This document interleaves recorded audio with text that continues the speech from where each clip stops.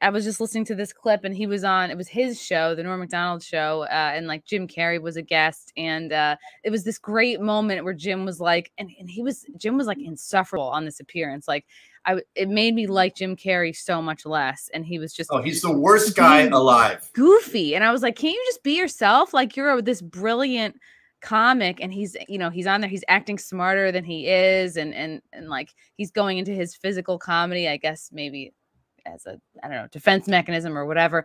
And he's like, you know, he swatted a mug off the desk and it broke. And then he he said to Norm like, oh yeah, I remember when you stopped by the set of Man on the Moon. I saw you there. And Norm was like, yeah, because I was on the movie. Like I was in the movie also. and it was like I was like, yes, I just it's so refreshing anytime you see somebody not kissing a, a big celebrity's ass. Jim Carrey is the biggest fucking douche. I worked with this kid who was in him in a movie with him, Lemony Snicket. Oh yeah. And he oh, would do a newer one. Yeah, yeah. He would do 80 takes with a little kid. So it would be 13 hours. And the poor kid was just being tortured, having to say the same thing again and again and again. He would take the lines from the kids. If they had a good line, he would use it in his dialogue and they'd just be stuck there as a sounding board. At one point, the little kid that, that that was one of the most overpriced movies of all time. I think it cost I don't know five hundred million dollars back when they weren't spending that kind of money. They built a cement lake.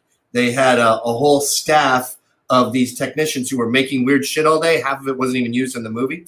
So during the downtime, they made him an off awesome the little kid in the movie. They made him an awesome Pee Wee Herman bike that was had rockets on the side and stuff and lights and streamers and cheering.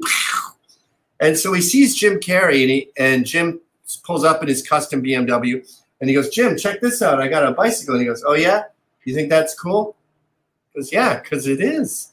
And he goes, Check this out. And he put, pulls the kid into his car and shows him how the console says Jim Carrey, and the console works with his fingerprints, and basically shows the kid that his custom BMW that was probably 200 grand is way better than his bicycle. Oh my god! What fuck? You know that blonde chick who was in um, White Lotus, the new show on Netflix about the hotel?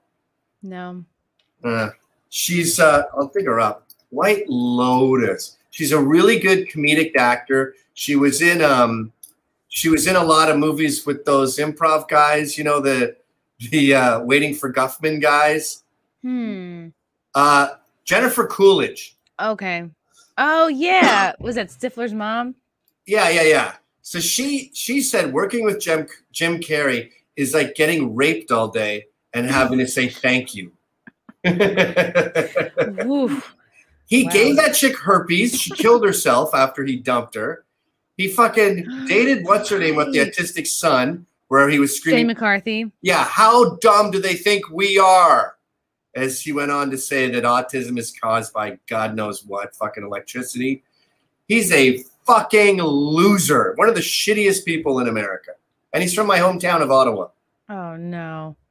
How devastating. Yeah. I'm sorry about that. Tom Green, uh, what's her name? Uh, Alyssa, Alanis Morissette, Jim Carrey, Ren Kowalski, and me.